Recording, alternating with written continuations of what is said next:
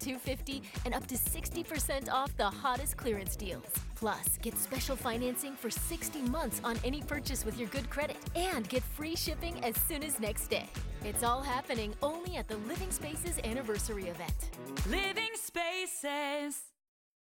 At Byte, we totally get it.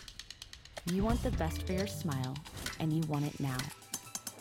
So straighten your teeth from home for thousands less than braces. Yeah, the choice is clear.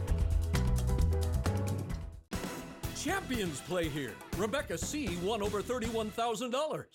Count on CarPros for a stress-free car buying experience with fully transparent pricing and great offers like this one.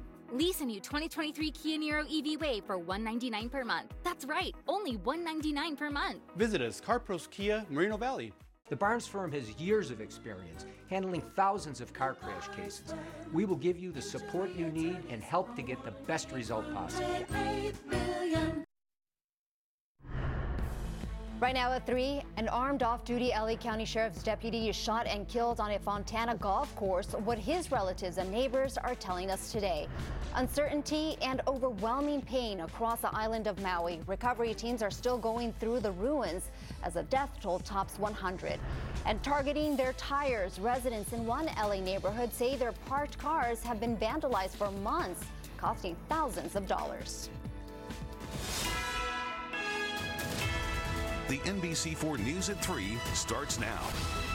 Good afternoon. I'm Annabelle Sedano. We begin at 3 with fed up Highland Park residents. They've been the target of vandals who have punctured the tires on several cars over and over again for months. NBC4's Ted Chen spoke with victims who are hoping they get help from the city and police.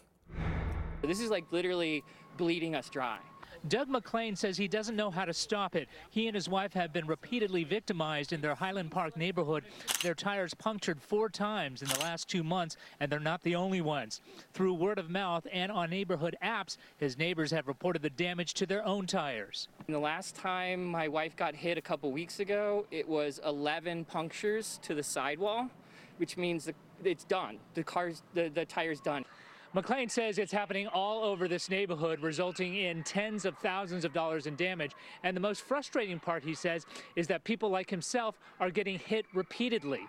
I know people like a six generation family from Highland Park down Monte Vista.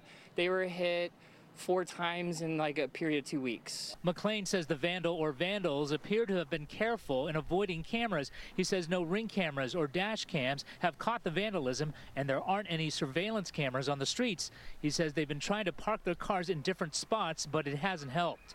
Every night my family goes to bed wondering if we're going to wake up to another uh, tire that we have to repair that we can't afford to. So it distresses over the top. I just want it to stop. That's just, I just want it to stop because we can't afford this anymore. In Highland Park, Ted Chen, NBC4 News.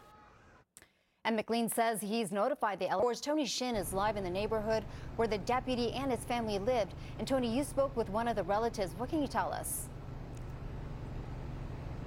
That's exactly right, Annabelle. As you can imagine, family members are simply devastated. Now, this all began inside this home you see behind me. This is the deputy's family home. This is where Fontana police say the off-duty deputy fired his gun inside this home. And then he left the home where witnesses say he started a commotion. Excuse me, ma'am. Can we please talk to you? She told us her name is Margarita and identified herself as Deputy Alejandro Diaz's mother-in-law. Yo estoy muy mal por... In Spanish, she said she is in bad shape because they killed the father of my grandchildren. A family member then told her to stop speaking to us and she went inside the home. This is where a neighbor says he saw a commotion involving the off-duty deputy. He appeared to be intoxicated.